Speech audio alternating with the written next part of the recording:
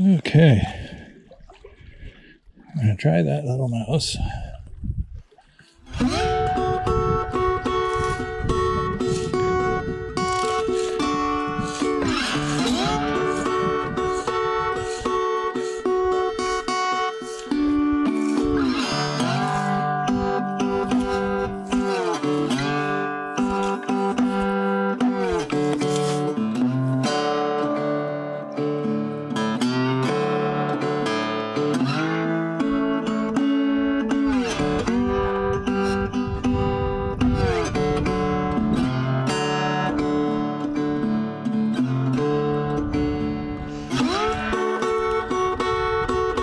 You see that?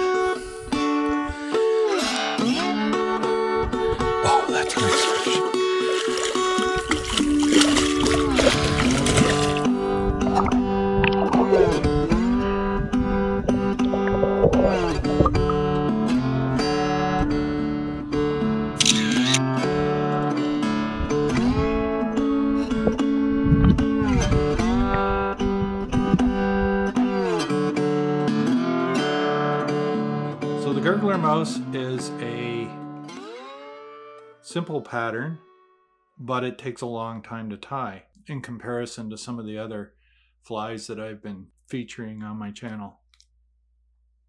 To start with, you're going to want to uh, get a heavy stinger deer hair style uh, hook that has a nice gap on it. The one I'm using is a Mustad C52S BLN.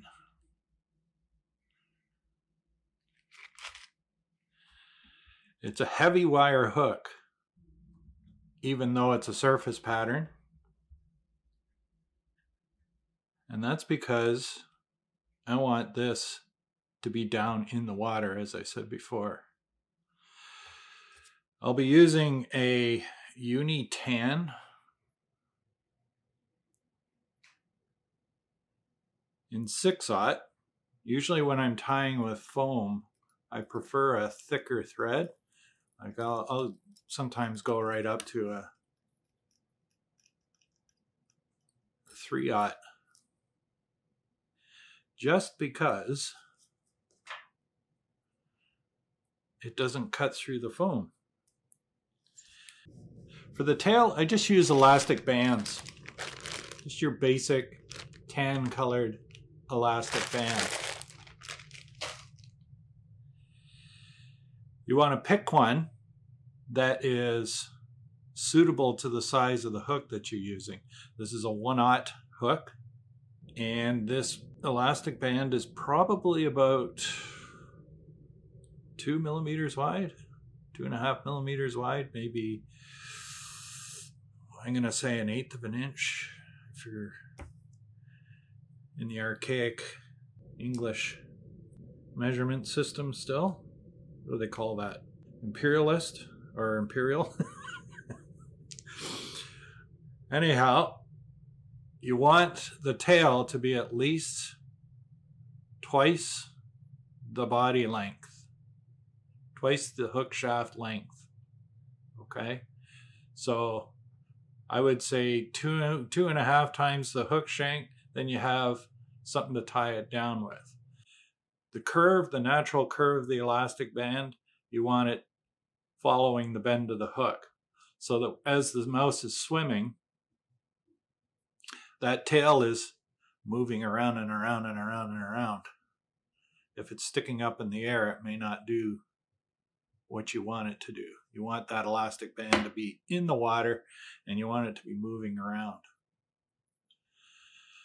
So position it on the top of the shank, couple of light wraps, and then tension it.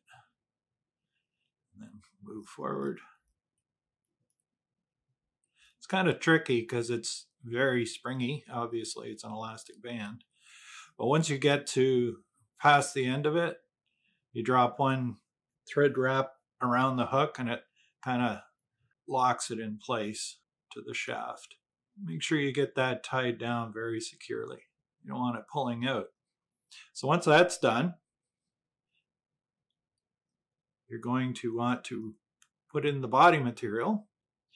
And the body material, instead of fur or hair or something like that, I'm using feathers. And the reason I'm using feathers is because number one, they move around a lot. Number two, they are easy to work with. And number three, they are easy to cast. So they don't pick up a lot of weight like fur does. And they also aren't very wind resistant like hair is. So they're easier to cast. Now I'm using two different colors. One is a uh, your basic brown, and this is what they call saddle hackle. And this is strung, strung saddle hackle. Just your generic stuff. So now we're gonna pull the fluff off. And this is going to be, instead of using hackle pliers, you got a handle here for it. So you want to tie in, tie it in by the tip.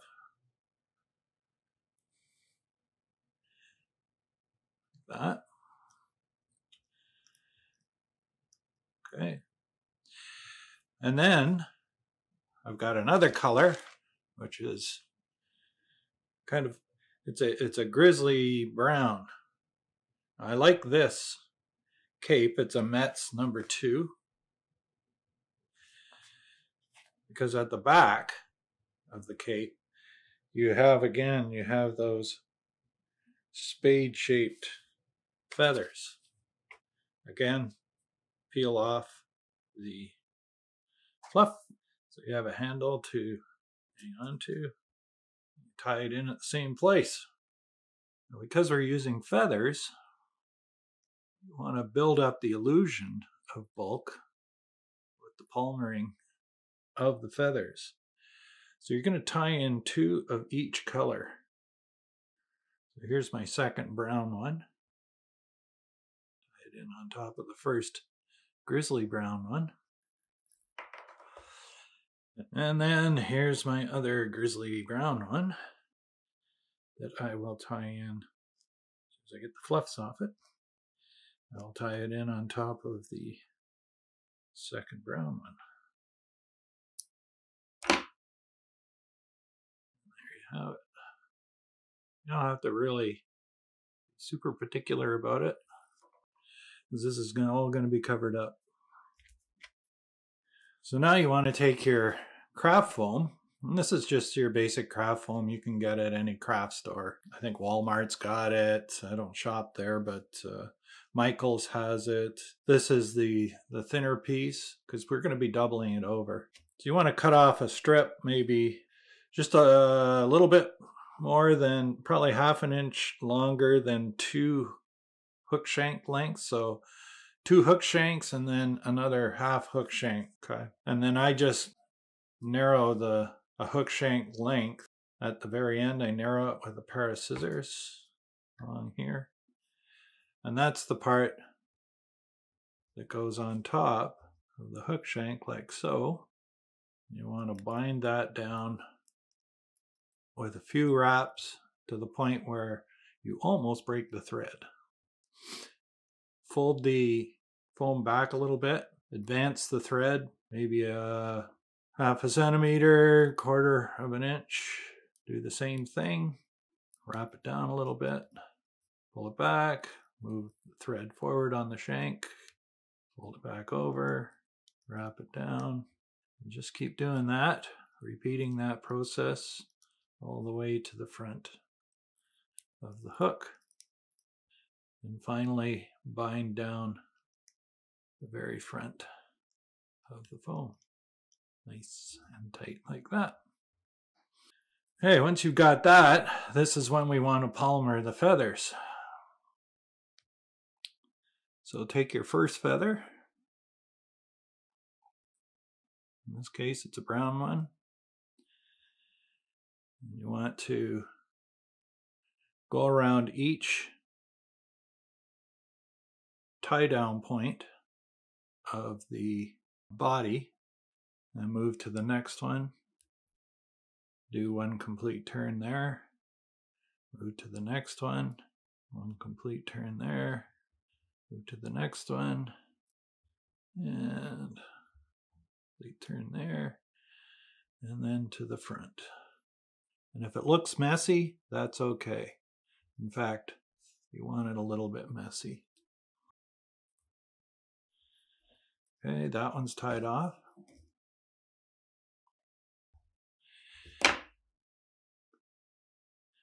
Take your next hackle and just follow it. Follow the first one. Just keep moving it back and forth a little bit to go through the previous hackle. This one's a little webbier, so you gotta work with it a little bit more, or I have to.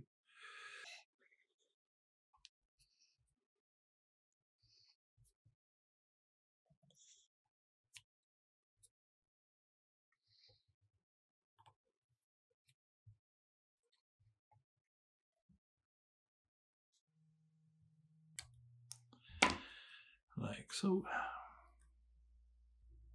And then your next brown one. Just repeat with each feather until you've got them all palmered in.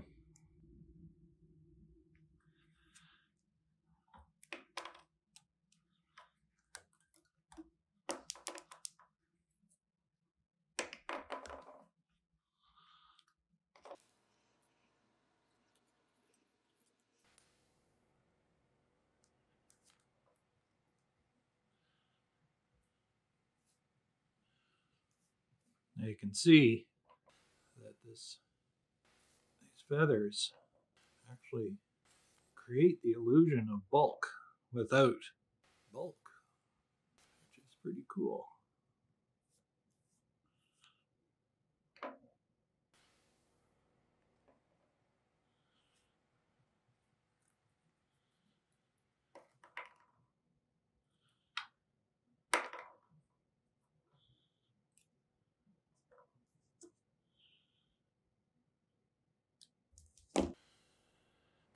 Pull some of these back. Neaten that up a bit. Okay. Now, I want to flatten or pull them out to the sides from the top out to the sides. Flatten that out and bring your foam over the top.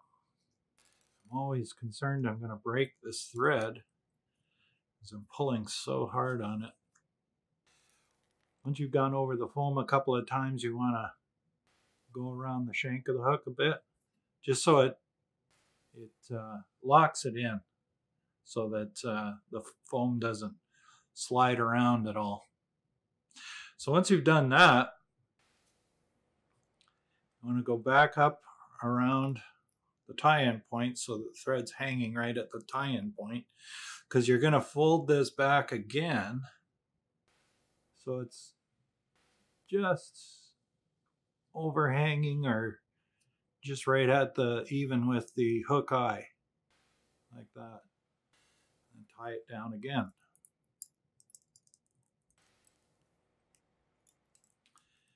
Firmly tie it down. Hopefully don't break my thread. I don't know if you can hear the the tension I'm putting on it, but it's making me pretty nervous. Okay, success. So you're all done with the tying part now. Now what we want to do is a whip finish. I usually do a couple, again, I don't, or try not to use any adhesives or cements on my flies because it stinks up my fly box and I'm assuming it stinks up the river. Fish probably don't find head cement very appetizing. So now you're going to end up, you got something that looks like this. And what you want to do is trim the corners off the head a little bit. Just round it off a little.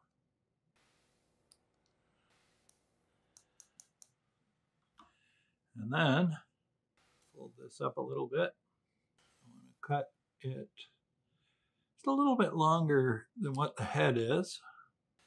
And then you want to cut a little heart shape so that you've got a couple of ears sticking up. So you want the, the rounded part to be on the corners.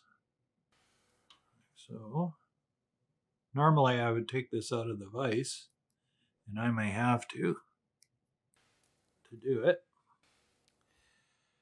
But you want to just make a couple of Mickey Mouse style ears on it.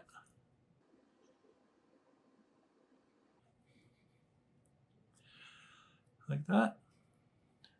The cool thing is, when you do that, and you look at this fly from below, from the fisheye view, you can see those little ears sticking out, which is kind of what you're after. The last thing that I do is you can see some of these hackles are the right length, some of them aren't. So I'm just going to trim them to length. As I said before, I wanted about a hook gap. And there you go. That is your mouse. So it's the tail and the feathers. The feathers actually move around a little bit and they give an illusion of movement because they're feathers, it looks like a blur. So it looks like this mouse is moving his feet like crazy. You can, if you want, take some magic marker, mark it all up. You can change the color of the tail if you want. I don't bother. The mouse works great just the way it is. So again, I'm not looking for more work. I'm just looking for a fly that works. So that's the mouse. Tie a few up. Let me know how you do.